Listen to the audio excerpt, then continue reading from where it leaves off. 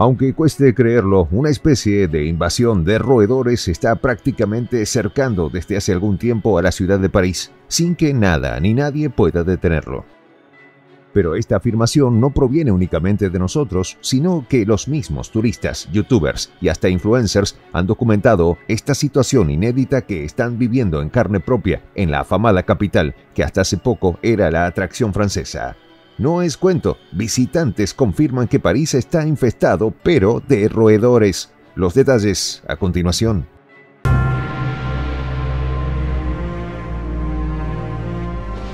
Voz de la Patria Grande infestado, contaminado, invadido, pero de roedores de todos los tamaños. Está la capital europea de Francia, en un hecho inédito que tiene minadas de estos animales sus calles, veredas, avenidas y sitios públicos. Esto lo confirman los turistas que viajan a París y especialmente el estadounidense Gray Davis, que en sus últimos videos hacen viral imágenes a plena luz del día, pero sobre todo de noche, donde estos perturbadores corren libremente por todos lados. Repetimos, son preocupantes las imágenes grabadas por Davis en su cuenta personal de la red social TikTok, donde manifiesta entre risas nerviosas que alimentar las ratas en su último viaje a París es su nuevo pasatiempo favorito.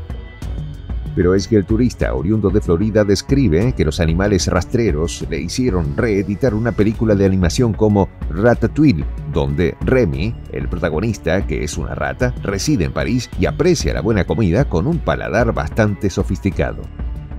Así como Gray, circulan por las redes videos de personas, de diferentes personalidades, que desde hace más de dos años vienen alertando y denunciando que en la capital francesa hay el doble de ratas que personas mientras que en el periódico Le Figaro hay reportajes completos de las ratas, donde se describe que si bien es cierto que antes se escondían, hoy salen hambrientas a toda hora. Incluso alegan que no es sorprendente ver ratas en París por la noche, lo que choca en verlas a plena luz del día. El propio viajero de la potencia del norte confesó que pasó más de dos horas alimentando a estos rastreros, especialmente a las localizadas en los jardines, donde a pesar de todo no pueden encontrar comida fácilmente.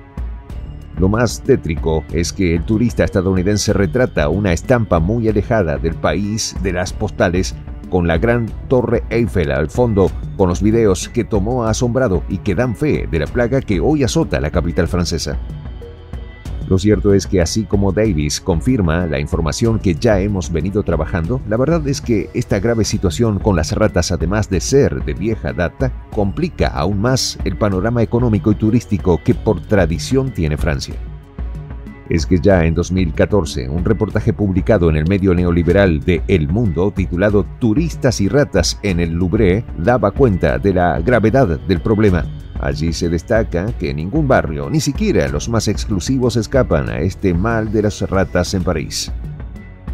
Es más, esta nota informativa daba cuenta de que en el suburbano de París hay más ratas que viajeros. Lo sorprendente es verlas paseándose por las calles más concurridas y en los barrios más adinerados salen a la luz porque los edificios son viejos y que siempre están en obras.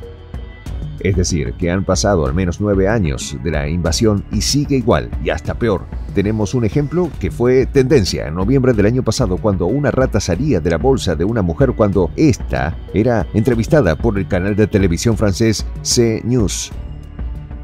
De allí en adelante los hechos, casos y episodios se han ido incrementando aún más con los mismos conflictos, huelgas y manifestaciones ocurridas en Francia que ha desembocado en una crisis económica tremenda desde finales del año 2022.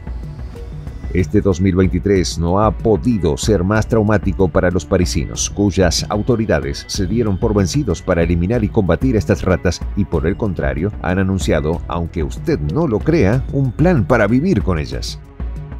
y la gota que ha derramado el vaso, el anuncio por parte de los gobernantes de la llamada Ciudad Luz de un plan con medidas de seguridad que impidan el contacto de los residentes y visitantes con estos animales, con la finalidad de evitar enfermedades y otros contagios. No podemos dejar de mencionar que los niveles de la invasión de los roedores se vieron exacerbados por la más reciente huelga de los barrenderos y de aseo urbano de París, lo que produjo, para colmo de males, la acumulación de más de 7.000 toneladas de basura en las aceras y calles de la capital francesa. Ahora bien, a pesar de que Gray Davis dice quedar en shock con esto de las ratas corriendo por todos lados en las calles de París, hay un hecho cierto, y es la imposibilidad del gobierno local y en especial de su presidente Emmanuel Macron por resolver la situación.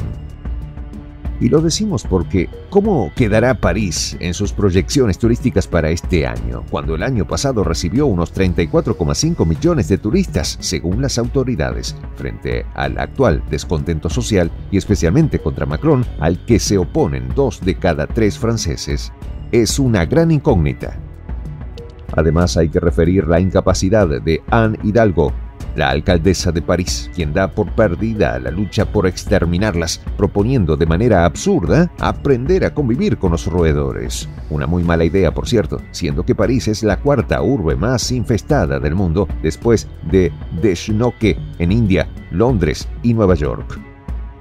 Pero mientras las más de 6 millones de ratas viven en la capital francesa superando en número a los humanos, que en la actualidad son 2,1 millones, en otras latitudes más cercanas como Venezuela y El Salvador, el turismo se consolida, generando importantes aportes al Producto Interno Bruto.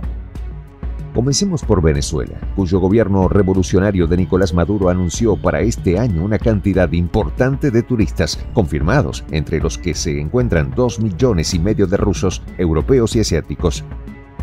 Cabe destacar que con respecto a este país suramericano, el ejemplo más contundente de que la gente que le visita no se quiere ir, tenemos al británico Patrick, quien en su cuenta de la red social Instagram da cuenta de lo maravilloso de esta nación donde ya lleva tres meses recogiendo imágenes y videos de su estadía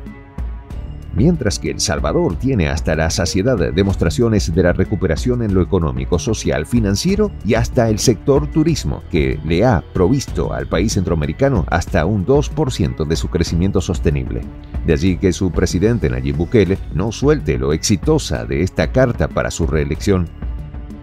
En resumen, en esta historia, donde increíblemente los protagonistas son roedores, es demostrativo de la grave crisis sanitaria y ambiental por la que atraviesa esta capital europea, que ahuyenta a los visitantes, y en este caso turistas, como Gray Davis, que confirman que París está infestado y sigue minada de roedores.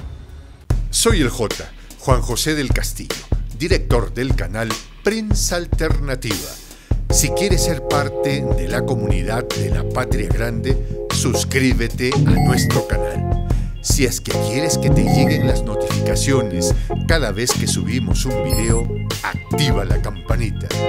Si quieres apoyar a nuestro canal económicamente, puedes hacerlo a través de PayPal. El enlace está en la descripción del video. A nombre del equipo de prensa alternativa, me despido con esta expresión en el quechua milenario, Tupananchis Kama,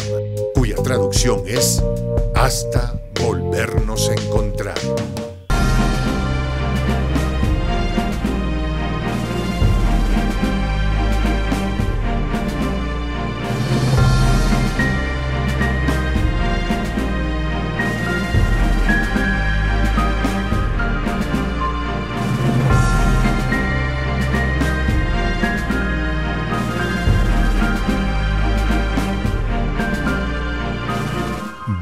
De la Patria Grande.